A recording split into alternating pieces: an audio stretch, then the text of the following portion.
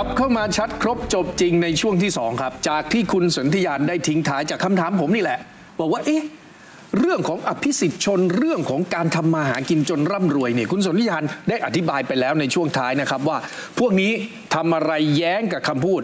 เอาแต่ความเท่าเทียมป่าก็บอกว่าเราต้องสู้ถอยเป็นไทยอะไรนะ สู้เป็นไทยถอยเป็นทาสแต่ในความเป็นจริงทำธุรกิจจนร่ำรวยเป็นหมื่นหมื่นล้าน เอาทุกทางในการที่จะทำให้รวยขึ้น จริงเท็จอย่างไรมาครับ ในเบรกนี้จะว่ากันเลยคุณสนธิยานเชิญครับ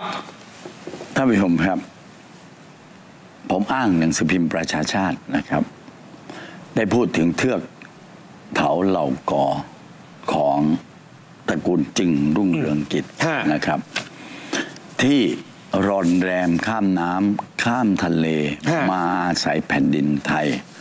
หรือจะเรียกให้ชัดเจนก็คืออาศัยพระบรมโพธิสมภาร นั่นก็คืออยู่ภายใต้บารมีของสถาบันพระมหากษัตริย์นะครับ ครอบครัวตระกูลนี้นะครับ เวลาข่าวไปเขียนเนี่ยก็จะสะท้อนให้เห็นถึงความพยายามความตั้งมั่นในการทำมาหากินครับนับตั้งแต่ทำเบาะรถจักรยานอ่านนะเป็นห้องแถวเล็กอ่าๆจนวันนี้บริษัทไทยสมิตหรือในเครือของไทยสมิต มีธุรกิจเป็นหมื่นหมื่นล้าน ในช่วงระยะเวลาไม่กี่สิบปีที่ผ่านมานะครับ ถ้าประเทศนี้มันเลวจริงนะครับ ต้นตระกูลคุณจะหนีมาจากประเทศจีนเออและมาพึ่งพิงประเทศนี้ทำไม และถ้าประเทศนี้มันเลวจริงฮะนะครับตระกูลของคุณจะร่ำรวยขึ้นมาฮะภายใต้การค้าขายในประเทศนี้หรืออมนะ มันมีตัวเลขนะ เราย้อนลอยไป อ่า ตอนขนาดตอนปี 59 อะ คือตอนนั้นน่ะธนาธรเขาจะจดทะเบียนตั้งพักอนาคตใหม่ถูก โอ้ยเป็นดาวรุ่งพุ่งแรง เพราะฉะนั้นทุกคนก็บอกเฮ้ย นายเป็นทายาทจึงรุ่งเรืองกิจนายเป็นทายาทไทยสมิตนายจะทิ้งเงินมาเหรอ อ่า ไปดูครับว่าสถานะของบริษัทกลุ่มไทยสมิตในวันนั้นนะครับ ในปี 2559 นะครับเขาพบว่าทั้งกลุ่มมีรายได้รวมนิดเดียวเองครับ คุณสนธิยาน คือ 6687 ล้านบาทกำไรในวันนั้นนะครับ ทั้งกลุ่ม 3,852 ล้านบาท ลองไปเปรียบเทียบกับเด็กๆที่กระทำความผิดฮะหนึ่งสองเครับด็กๆทะลุแก๊สทะลุวังทะลุอืมอะไรก็ตามแต่ที่เจอกระบวนการการปั่นความคิดและและออกมาเนี่ยนะครับ ถ้าลองเปรียบเทียบกันดู ว่านี่นะครับผู้นำนะเขามีความร่ำรวยอ่านนะครับ ถึงขนาดนี้นะครับ และก็ล่าสุดเนี่ยนะล่าสุดยังมีข้อมูลที่ล่าสุดอีกฮะอะผมเอาข้อมูลล่าสุดให้กันแล้วกันนะ เอาอย่างนี้เอาอย่างนี้กลุ่มบริษัทไทยสมิตเนี่ยนะคุณสนธิยานเขามีเป็นร้อยบริษัทฮะคุณผู้ชมอย่างนี้นะ บางส่วนก็จดทะเบียนในตลาดหลักทรัพย์ครับบางส่วนก็ไม่ได้จดครับถ้าคุณผู้ชมเอาแค่หนึ่งบริษัทเท่านั้นนะ คุณสนธิญาณ บริษัทไทยซัมมิทโอโตพาร์ทอินดัสตรีจำกัด ปี คุณคุณนะ ปีนี้ล่าสุดเลยทำไมผมถึงยกอันนี้มารู้ไหมครับ เพราะ คุณธนาธรจึงรุ่งเรืองกิจโอนหุ้นออกไปจากบริษัทนี้ครับจำได้นะครับ บริษัทนี้นะครับ จิ๊บจอยฮะงบดุลสินทรัพย์รวมมีเพียงแค่ 17,798 ล้าน 928 บาทเองครับ คุณสนธิยานแค่หมื่นกว่าบาทหมื่นหมื่นกว่าล้านฮะไม่ใช่หมื่นกว่าบาทหมื่นกว่าล้านครับครับ และมีกำไรสะสมนะครับโอ้โหนี่เดี๋ยวนะ หน่วยสิบร้อยพันหมื่นแสนล้านโอ้โหนับไม่ถูกครับหมื่นหกพันล้าน ครับ ที่นี้ท่านผู้ชมฮะนะ เมื่อกี้เนี่ยนะ ผมแซวคุณต้นว่าหมื่นกว่าเองเหรอคุณต้นบอกว่าหมื่นกว่าล้าน คนที่มีทรัพย์สมบัติระดับหมื่นกว่าล้านเนี่ยควรจะพอเพียงไหมสำหรับผมนะ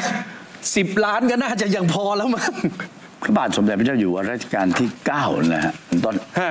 สอนเรื่องพอเพียง ถูกต้องนายธนาธรออกมาบอกว่าเป็นวาทกรรมถูกต้อง เพราะฉะนั้นเนี่ยเมื่อนายธนาธรไม่เชื่ออมในเรื่องเศรษฐกิจพอเพียง นายธนาธรและครอบครัวนายธนาธรจึงทำไงฮะรวยแล้วไม่พอเลยครับอ่ารวยแล้วไม่พอไปกว้านซื้อครับที่ดินฮะ แล้วก็กลายมาเป็นประเด็นฮะนะครับ โดนคดีถูกต้องอ่าอะควรผมทวนให้ท่านผู้ชมได้รับฟังกันอืมนะอ้าวนะ คุณผู้ชมนะ นางสมพรจึงรุ่งเรืองกิจ นางชนาพันธ์จึงรุ่งเรืองกิจ สมพรนี่คุณแม่นะ ชนาพันธ์พี่สาว และนายครับธนาธรถูกนะครับ ถูกร้องเรียนข้อกล่าวหานะครับ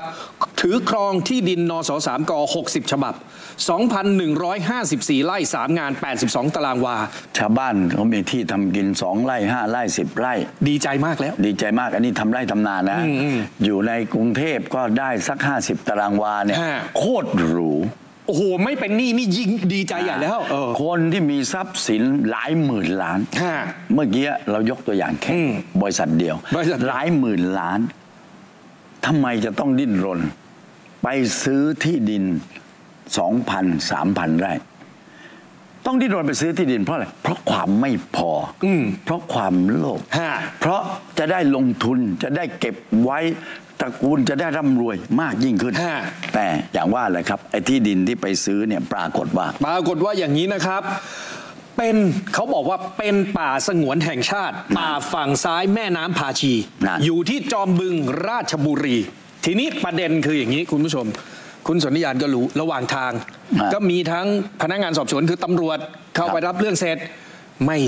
ไม่เขาเรียกว่าอะไรนะไม่คืบหน้า พนักงานสอบสวนกองกำกับการห้ากองบังคับการปราบปรามการกระทำความผิดเกี่ยวกับทรัพยากรธรรมชาติ และสิ่งแวดล้อมผมไม่ได้โทษตำรวจนะ แต่ผมต้องระบุหน่วยงานคุณ เพราะหลังจากที่คุณสั่งไม่ฟ้องฮะเนี่ยนะครับ แต่ กรมป่าไม้เขาไม่ยอมเขาไม่ยอมสิครับ เพราะว่าเขาไปโดนเขาไปโดนเขาเรียกว่ากระแสสังคมบอกว่าเฮ้ยซูเอียกันเหรอเออกรมป่าไม้ก็เลยบอกอย่างนี้ครับว่าการที่ตำรวจสั่งไม่ฟ้องเนี่ยกรมป่าไม้มีความเห็นแย้งกับพนักงานสอบสวน เนื่องจากคดีนี้พนักงานสอบสวนไม่ได้นำผลการพิจารณาเพิกถอนเอกสารสิทธิ์ในที่ดิน ประกอบสำนักสำนวนการสอบสวนแต่อย่างใด ดังนั้น เพื่อให้การดำเนินคดีเป็นไปตามกฎหมาย และไม่ให้เกิดความเสียหายต่อรัฐ จึงขอได้โปรดรอผลพิจารณาการเพิกถอนเอกสารสิทธิ์ในที่ดินจากกรมที่ดินและประเด็นอื่นด้วย ย้ำนะครับ อภิสิทธิชนหรือไม่อภิสิทธิชนไม่รู้นะ แต่เจ้าที่ตำรวจนะกองบังคับการห้ากองปราบปรามกระเออทำความผิดกับทรัพยากรเนี่ยนะครับอ่าก รมป่าไม้เขากล่าวหาอืมตำรวจอืมว่า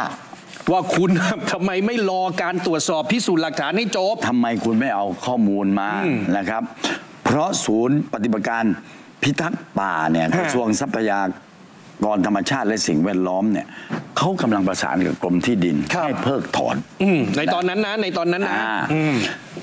นี่คือประเด็นที่ค้างคาอยู่ครับทีนี้พอมีประเด็นค้างคาอยู่เนี่ยนะ นายธนาธรอืมก็อาศัยข้อนี้ฮะซึ่งมันมีจุดอ่อนในระหว่างหน่วยราชการครับนะจะหน่วยราชการอ่าดูหลักฐานไม่รอบด้านนะหรือฉลาดไม่เพียงพอฮะนะหรือดูแล้วรอบด้านแล้วฉลาดเพียงพอแล้ว แต่เห็นว่าไม่จำเป็นต้องรอครับกรมป่าไม้ หรือกรมที่ดิน ซึ่งเป็นเจ้าของเรื่องอืมอ่านะนายธาธรก็เอาเรื่องนี้เนี่ย มาฟ้องศาลปกครอง ไปฟ้องกระทรวงมหาดไทย ฟ้องกรมที่ดิน ฟ้องอธิบดีกรมที่ดินและปลัดกระทรวงมหาดไทย ทั้ง 4 คนนี้นะครับครับอมันต่อเนื่องกันอย่างนี้กรมที่ดินเขาก็เพิกถอนโฉนดนะหลังจากนั้นนะคุณสนธิยานอ่าเพิกถอนหนังสือการใช้สิทธิประโยชน์ที่ดินนสสามกครับ ธนาธรฟ้องเลยครับ ครับ ฟ้องหนังสือ 29 มีนาคม 2565 ของกรมที่ดินที่เพิกถอน การรับรองทำประโยชน์ของตัวเอง ครับฟ้องกับศาลปกครองครับอ่าเรื่องราวก็ดำเนินไปตามลำดับ ทีนี้ที่หยิบยกเอาเรื่องนี้มาคุยเนี่ยครับ คือพอมันเกิดสองคดี คือคดีที่ศาลสั่งเด็กจำคุกฮะ นะเพราะใครก็ตามแต่ที่ปลุกปั่นยุโจงสู้เป็นไทยถอยเป็นทาสเนี่ยนะ มาดูคดีของตัวเองที่ย้อนแยง้ง เกี่ยวข้องกับความโลภความไม่พออมแน่นอนเลยครับ การไปซื้อเนี่ยเพราะ มีเงินเยอะแยะแต่จะไปยุ่งอะไรกับที่ป่า มันอยู่ในป่า2,000กว่าไร่เออเออทีนี้มาฟ้องเนี่ย วันที่ยี่สิบเจ็ดฮะกันยายนนี้นะอ่าศาลปกครอง จะชี้คดีที่นายธาธรไปฟ้อง ฟ้องเจ้าหน้าที่รัฐนะครับอ่าแต่เอาศาลปกครองต้องฟ้องเจ้าที่รัฐถูกต้องานะธนาธรเนี่ยฟ้องเจ้าหน้าที่รัฐที่ผมอธิบายไปแล้วนะ แต่ ขั้นตอนยังไม่ต้องรอ 27 อ่าไม่มันมีขั้นตอนมันเป็นอ่าขั้นตอนครับอืมท่านผู้ชมครับว่าเวลาไปฟ้องศาลปกครองเนี่ยศาลปกครองเนี่ยจัดตั้งขึ้นเพื่อให้ความเป็นธรรมครับกับประชาชนนะครับที่โดนหน่วยงานรัฐอืมเล่นงานหรือมีปัญหาข้อพิพาทกับฮะหน่วยงานรัฐ ทีนี้เนี่ยโดยหลักการตอนตั้งศาลปกครองขึ้นเนี่ยศาลก็จะอนุมานก่อนว่าฝ่ายรัฐเนี่ยเป็นฝ่ายมีอำนาจ ฝ่ายประชาชนเนี่ยจะเสียเปรียบ กรณีอย่างนี้นะครับ มันจึงมีขั้นตอนฮะว่าจะต้องมีการแถลงคดีให้เปิดเผยเสียก่อนครับ ก่อนที่จะดำเนินกระบวนการการพิจารณาแล้วก็ชี้ขาดครับ ปรากฏว่าเมื่อวันที่ 13 กันยายนที่ผ่านมาอ่านะครับ เรียกว่าตุลาการเจ้าของสำนวน ก็ได้สรุปประเด็น และดำเนินการแถลงแถลงว่า ตุลาการพูดแถลงคดี ซึ่งเป็นตุลาการนอกองค์คณะนะ ถูกต้องา แถลต้องงต้องนอกองค์คณะนะต้องนอกองค์คณะนะครับ เพราะถือว่าเดี๋ยวคนที่แถลงเนี่ยจะไม่เข้าไปมีส่วนเกี่ยวข้องกับการพิจารณาคดีไม่มีส่วนได้เสียเลยเอาง่ายๆเปิดมาถึงเสนอความเห็นก่อนเลยครับว่า คดีที่นายธนาธรฟ้องเจ้าหน้าที่รัฐทั้งหมดนี้ ตุลาการผู้แถลงคดีมีความเห็นว่าควรสั่งยกฟ้อง เนื่องจาก เนื่องจากว่าก่อนที่รองอธิบดีกรมที่ดินจะมีคำสั่งเพิกถอนนสสามกที่นายธนาธรครอบครองเนี่ยได้มีคำสั่งตั้งคณะทำงานตรวจสอบข้อเท็จจริง ซึ่งมีทั้งผู้เกี่ยวข้องผู้เชี่ยวชาญ ตรวจสอบตามหลักวิชาการแล้ว พบว่าตำแหน่งที่ดินตามหลักฐานนสสามกทั้งนั้นน่ะรวมทั้งที่ดินที่พิพาทที่อยู่ในเขตป่าไม้ถาวรป่าฝั่งซ้ายแม่น้ำพาชี ทั้งแปลงอยู่ในเขตป่าไม้ถาวร จึงเป็นที่ดินต้องห้ามมิให้ออกหนังสือรับรองการทำประโยชน์คำสั่งของรองอธิบดีกรมที่ดินที่เพิกถอนนสสามกแปลงที่พิพาทจึงเป็นคำสั่งที่ชอบด้วยกฎหมาย ทีนี้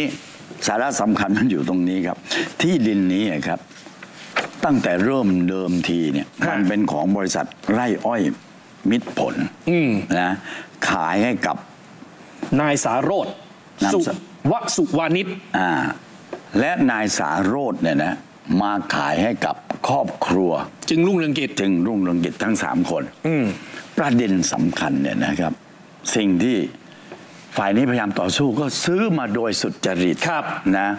แต่ในข้อเท็จจริงนะครับ ในทางการพิจารณาเนี่ยนะครับนายสาโรธเนี่ยนะครับรู้อยู่แล้วว่าที่ดินดังกล่าวเนี่ย อยู่ในป่าสงวนและมีความเสี่ยงจะถูกเพิกถอนสิทธิด้วยอ่าเออ ย้ำนะนายสาโรธเนี่ยรู้อยู่แล้ว แล้วก็ยังยอมซื้อจากบริษัทมิตรผลมาอืมนะ แล้วมาขายนายธนาธรฮะเฮ้ยนายสาโรธเนี่ย ไม่บอกนายธนาธรไม่บอกคุณแม่ไม่บอกคุณพี่นายธนาธรเหรออื มมีสิทธิ์ที่จะเป็นไปได้ ถ้าเป็นบุคคลโดยทั่วไปครับย้ำนะ ถ้าเป็นบุคคลโดยทั่วไปเนี่ยมีสิทธิ์ที่จะเฮ้ยซ่อนงำเก็บไว้เพื่อหลอกขาย แต่นี่หลอกไม่ได้ครับ เพราะนายสาโรธเนี่ยทำงานตำแหน่งบริหารในกลุ่มบริษัทไทยซัมมิตเป็นลูกน้องของตระกูลนี้ แล้วจะมากล้าหลอกเหรอ นั่นสิครับ เพราะฉะนั้น ถ้าศาลปกครองชี้มาวันที่ 27 เป็นอย่างไรอ่านนะครับ ก็จะเป็นแนวทางในการที่จะวกกลับไปสู่การดำเนินคดีทางอาญาต่ออ่าอ่าคุณผู้ชมตำรวจกองปราบ สิ่งแวดล้อมป่าไม้อะไรเนี่ยนะอืมชื่อยาวเหลือเกินฮะนะ ก็ควรจะเอาเรื่องนี้ไปพิจารณาทบทวนดูหรือไม่นะ และ ทำไมคนที่เรียกร้องนะครับ สิทธิความเท่าเทียมให้ต่อสู้ ถ้าเป็นของจริงจะทำแบบนี้เหรอและนี่คือความย้อนแย้งแรกนะครับ เพราะฉะนั้นจับตามอง 27 กันยานะ เรื่องที่ดิน และยังมีอีกคดีหนึ่ง นี่ไง ผมก็เลยบอกว่าเดี๋ยวช่วงหน้า มาพบกับอีกหนึ่งคดี สินบน 20 ล้านครับ